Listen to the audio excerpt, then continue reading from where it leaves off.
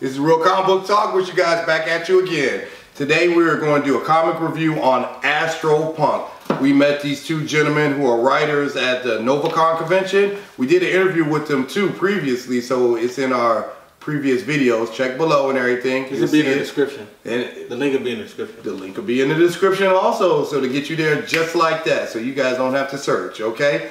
Before we get to that, with me as always, my boy Al, TT, and what up? I got a finish spinner. Oh my god. I'm Daniel. I'm Daniel. Let's get into this review. now, the writers' names are Ken Sinners and Rob Fahrenholt. They're independent writers and everything. Like most independent writers, they decided, you know what, regular comic books didn't have what they wanted. So they went out there and made their own comic book. We're going to review it for you guys.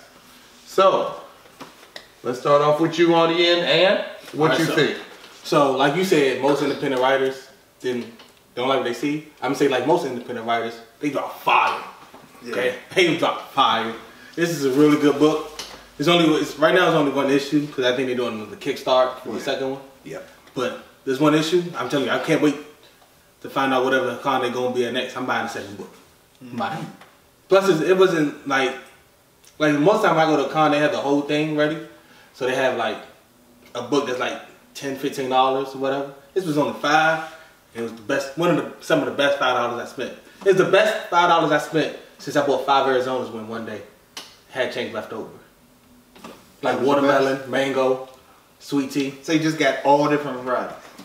I didn't feel like making Kool-Aid. And it's from the guy who drinks like gallons of water a day. I know. So you drink five Arizonas. It was a good five Arizonas. Solid five Arizonas.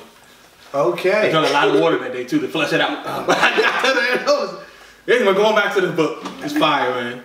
The character is Detective Dick, and you know what she got in mind? A little bit of Batman and Jessica Jones rolled into one. Yeah. Yeah.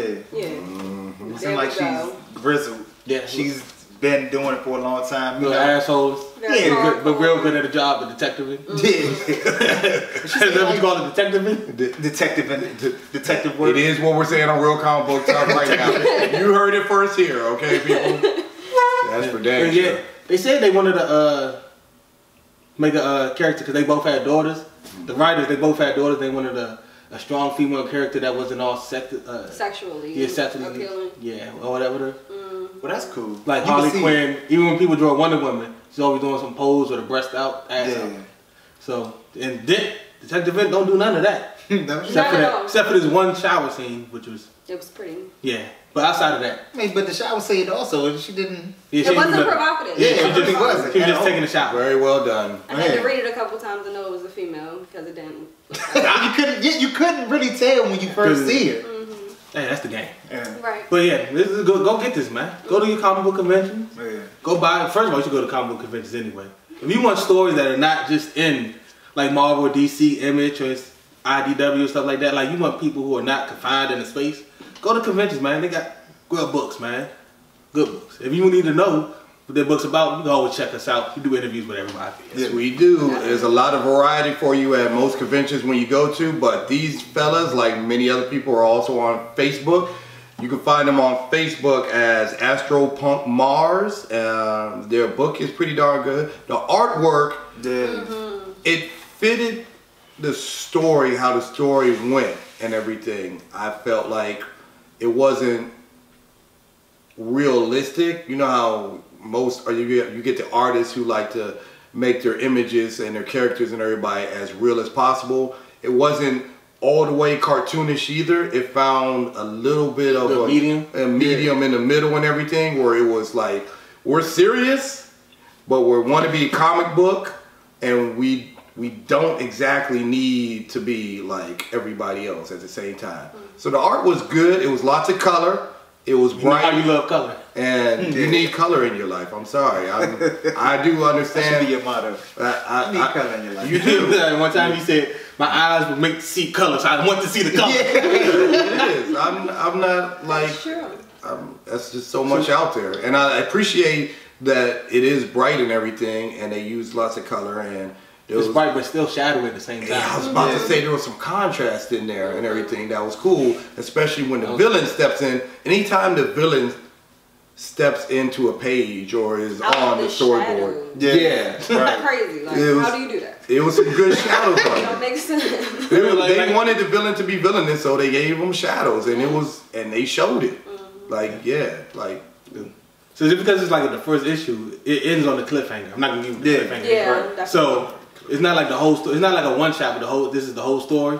This, There's this more series- to read. There's more to read. There is you just more ain't to released it read. yet, but they will. And when they do, I'm buying it. Yeah. Grab this. Yeah. pretty I'll say I like how adult it is, or how mature it is. Let me refrain from saying Yeah. adult. It's very mature. Um, You say adult. I hate it because I hate adult teen. it's Don't we all? We all hate that. but very mature. Um, onto the colors, loved it, loved it, loved it. The artwork Mm-hmm. is beautiful. Um, I do want to see more of it. I think the female lead could have been a little stronger, just a little bit. I mean, she's badass. You can tell she's badass. She's not somebody you want to mess with, but at the same time, she could have been more prominent in what she was doing. She refrained from fighting as much as I would have liked her to. I would have liked to see her kick a little more ass. So I can see that. hopefully that comes up in the Kind of like Jessica Jones. Like you know, Yeah, she did I not can to really fight. But Yeah. Jessica don't really want to fight. Right. Especially after, especially after she had a daughter. Right. Yeah, right. Exactly. Yeah, So- she gave up on all that and everything. Uh, any comments from you, Al, about the book? What you Uh, think? I like the story. Seem like it's when it's when it really does start. When you find out exactly what's going on, I think it's going to be a good story. I mean, you could tell they put a lot of cliffhangers in it to make you want to come back and see the next. You know, watch. I need to see the next one. Yeah, to find out what's going on, you need to find out. No spoilers. Find out who the villain is. Number one, who, uh, why they did what they did, and just to find out what's going on. All the motives. We need motives, Yeah. people. Uh, they're independent writers. You guys just keep us coming back. Isn't that what you're supposed to do? Yeah, right. Oh, well, the big time ones don't do that anymore. Marvel and them, they, It's not big time. they, they don't do it at all. They, they, they have enough capital where they don't have to do that. And this is they- why we like independent, you know. yeah, they they give you one shots and everything. You know, you know what, it, you know what it is? Independents have forgotten their roots. I think Yeah. it's that and worrying about detail. Like when you're independent, you have more time to worry about the Yeah. details. Right. You ain't gotta have one. I need this in three weeks. Next up, Exactly. next one right now. Exactly. You hmm. can't rush artwork. That's just how I feel. And that's coming from an artist. You just can't rush it. You just can't. True. Yeah. True words have never been spoken. So sure? I know some true words. that that is that is our review of uh, Astro Punk. We uh, if you see them at a con or anything like that, we ask you at least you uh, go talk to the writers, have have a chit chat with them. They're some cool guys. We talked to them. We had a good conversation. Uh, pick up the Especially book. food. Pick up, yeah. I was- pick, pick up pick up the book pick up the book take a glance at it uh, we recommend it and uh, you can uh, find uh, our review with them in the comment in the description. And uh, if you have any comments leave comments in the comment section.